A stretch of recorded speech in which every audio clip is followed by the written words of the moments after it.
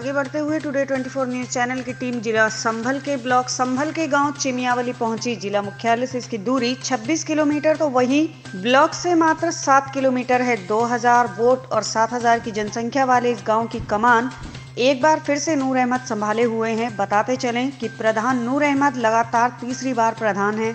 गाँव में अच्छा विकास होने के कारण गाँव वाले हर बार इन्हें प्रधान चुनते हैं। चार वर्षों में इन्होंने क्या क्या कार्य किए हैं और अभी भी किस समस्याओं से गाँव जूझ रहा है, आइए जानते हैं प्रधान की ज़ुबान। टुडे 24 न्यूज़ में आपका स्वागत है। इस समय हम मौजूद हैं ब्लॉक संभल के चिमियावाली गाँव में।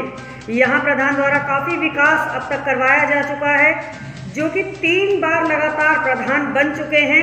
काफ़ी हद तक यहाँ विकास करवाया गया है इनके द्वारा, लेकिन अभी भी कुछ समस्याएँ यहाँ बाकी हैं, जिसकी पूरी जानकारी हम यहाँ प्रधान जी से लेकर ही आपको बताएँगे। तो आइए चलते हैं प्रधान जी के पास।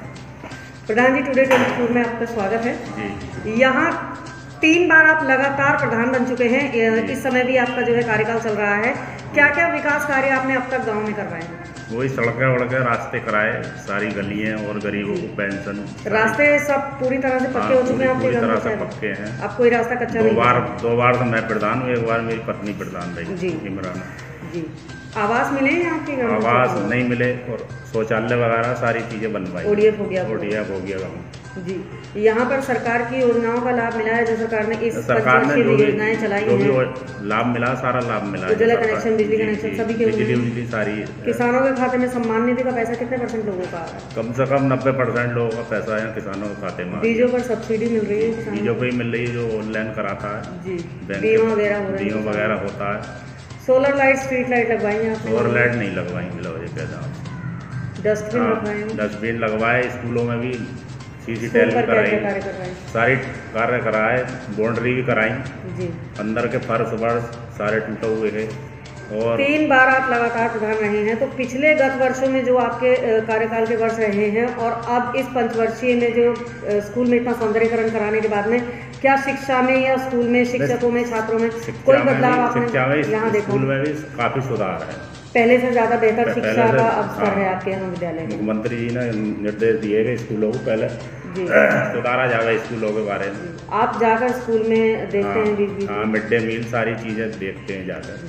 सरकारी बिल्डिंग में यहाँ स्कूल के अलावा क्या है? बारात घर है आपकी ग्राम पंचायत? बारात घर नहीं है आंगनबाड़ी के अंदर है और पंचायत? घर पंचायत घर भी नहीं है। अस्पताल? अस्पताल भी नहीं है। कितनी यहाँ जनसंख्या होगी?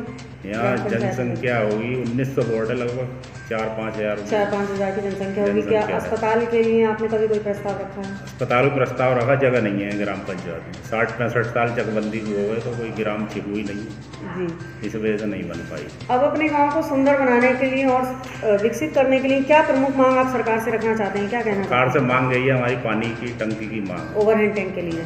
पंचायत जो नहीं है आपकी ग्राम पंचायत में उनकी भी मांग उनकी जब जगह नहीं है तो मांग नहीं ग्राम समाज की जगह नहीं हाँ, है जगह नहीं इसकी मजबूरी सर और कोई समस्या गाँव में ऐसी न और कोई समस्या नहीं है जल भराव की कोई समस्या नहीं है नहीं जल भराव का तालाब भी है। सारी चीज़ें हैं और पानी नदी में जा रहा है नाले के जो द्वारा सबसे सरकार जो कार्य कर रही है आप इससे कितने संतुष्ट हैं? सरकार के कार्य से संतुष्ट है। पूरी तरह से। पूरी तरह से।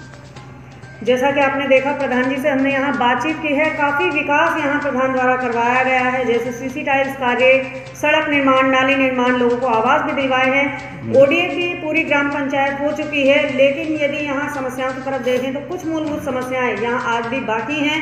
जैसे बारात घर और पंचायत घर अभी तक इस ग्राम पंचायत में नहीं है।